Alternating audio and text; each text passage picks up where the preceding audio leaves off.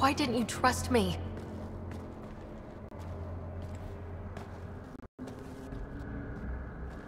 I liked the way you looked at me. I was afraid that would change. Nothing's changed. You have bad taste in men.